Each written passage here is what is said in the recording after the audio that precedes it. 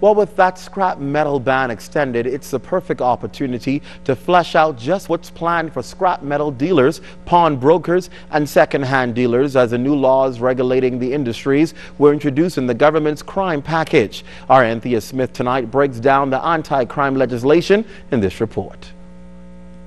Some do it legitimately, but then there are others who take the criminal route when getting and selling their scrap metal, particularly copper. But in walks new laws for the Customs Management Act that establishes a special investigation unit within the Customs Department to investigate and inspect proposed shipments of scrap metal before exportation. Where the shipment contains copper, aluminum, brass, or catalytic converters, the unit must conduct a comprehensive chain of custody investigation. Similarly, the special investigation unit will be the only body to certify and authorize shipments for approved dealers. And these dealers too have a responsibility to uphold.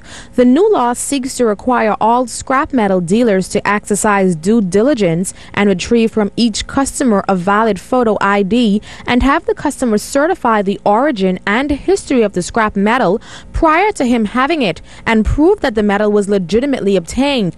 A 15 day hold on all shipments containing aluminum, brass, or the converters will be imposed until all checks have been made. That hold is extended to 30 days for copper shipments.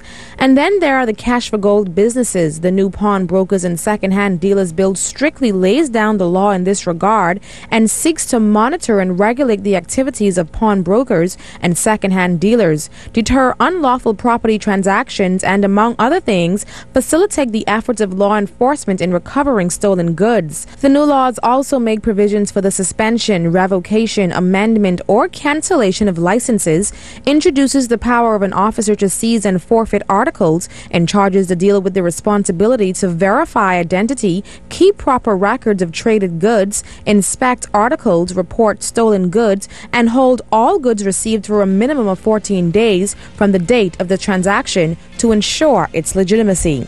I am Thea Smith, ZNS News.